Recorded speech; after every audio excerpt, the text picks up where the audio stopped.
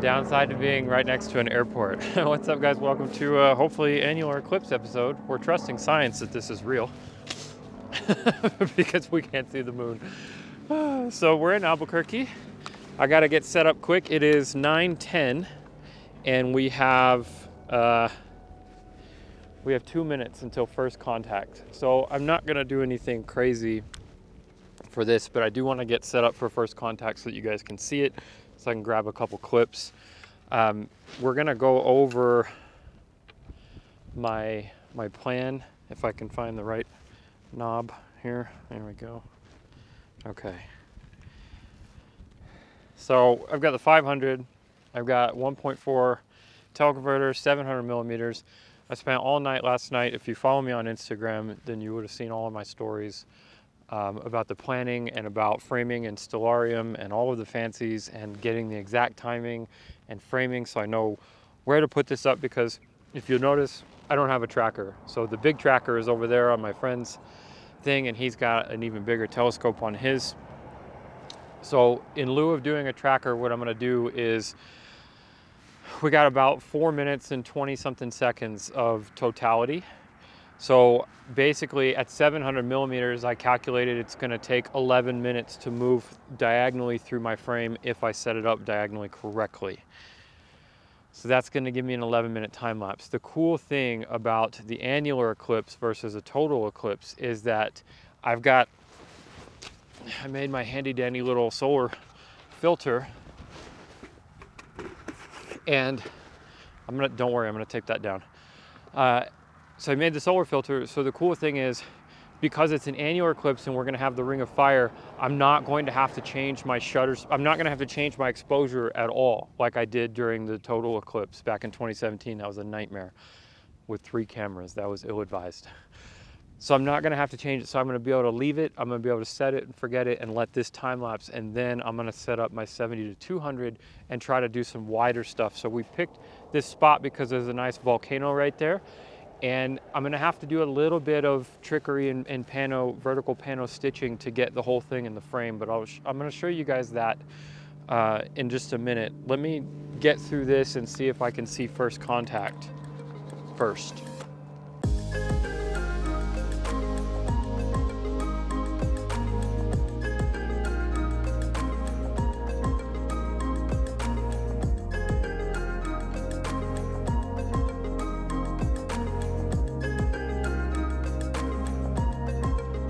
Right, so we had to switch to the phone now. So many problems, but nothing luckily with the actual cameras, just with recording and the mic. So sorry about the wind. Here we are in Sun Surveyor. All right, so check this out.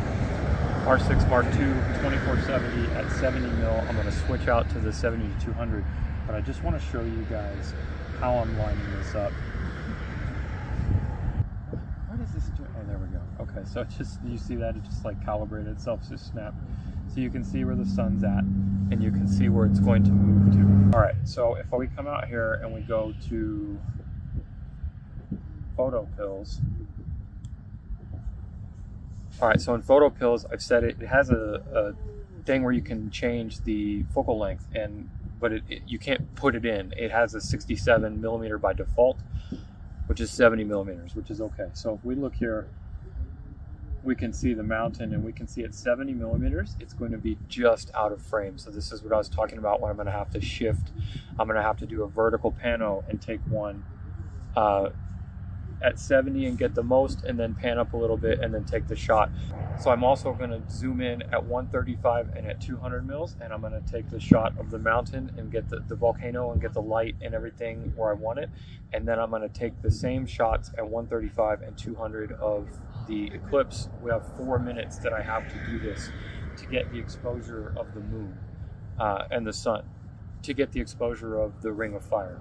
And then what I'm gonna do is uh, we're gonna have to kind of vertical pano that and then smush it so that you can see it uh, and it'll look more natural. But we'll, we'll explain that because after we get done here, we're gonna go back into the studio and I'm gonna show you guys exactly how I'm editing this. But I wanted to show you this setup first and then the augmented reality of how I'm using that with photo pills. So for now, I'm gonna go get ready and start this time lapse and then we'll get that going. So once the time lapse is going with the 500, then I don't have to worry about it because I'm gonna let it drift right through and I've got it all set up. I calculated the time. I put into Stellarium my focal length and everything and, and where the sun was gonna be. So I calculated at like 1026 or whatever it is, I'm gonna have to 1021. Um, I'm gonna have to line up the sun at the 500 to where it's in the bottom left corner and then lock my tripod down and then it'll drift diagonally through and I'm gonna have it take a, a shot every two seconds for a time lapse. That's gonna give me about a, an effective elapsed time of 10 second video, uh, 8K, which is gonna be really nice. And then while that's going, I'll be free to mess with this. So let's go get that set up because we only got a couple minutes.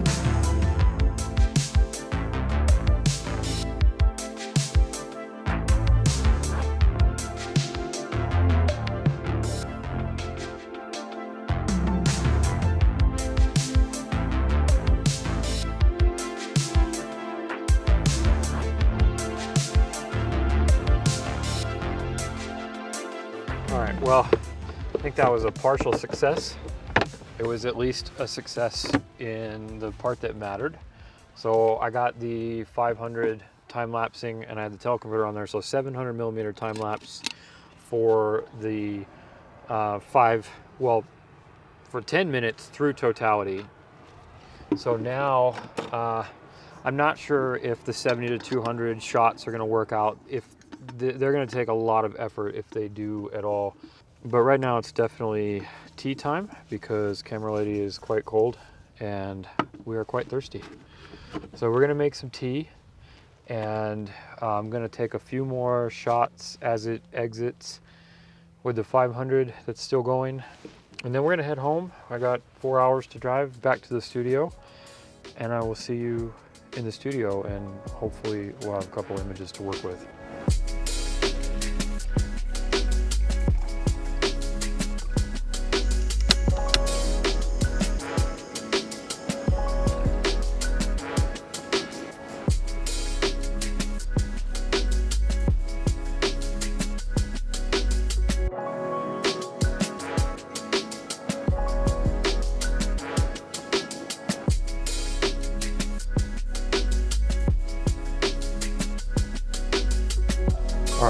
Back.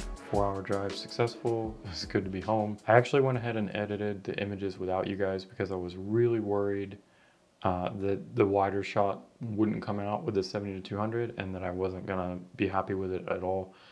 And I didn't want to just like film it and waste everybody's time. So I will though, I think I'm okay with it. Uh, it's still not maybe what I had in my head or what I'd hoped for, but I will go ahead and show you guys the step by step of what I did so you can see like my thought process behind trying to put together a composite that would be, I mean, it's still a composite, it's still an artistic rendering, but it, I wanted something that would like capture the feel of what it was like to be there as best I could. So let's jump in the computer and I'll show you what's up.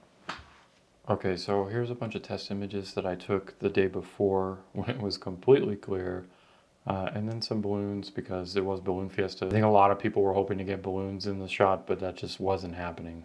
All right, so you can see the actual clouds. This was the morning of, and fortunately they cleared off pretty good by the time it got up there. But okay, so here you can see this is 70 millimeters, and then you can see where the sun was. I mean, it was just a couple of degrees right out of frame. So that's at 70.